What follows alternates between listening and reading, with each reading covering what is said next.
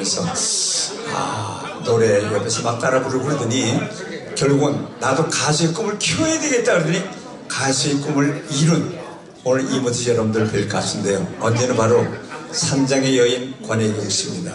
그 동생 권문자 씨의 무대입니다. 큰 박수 청해 듣겠습니다. 인생 이새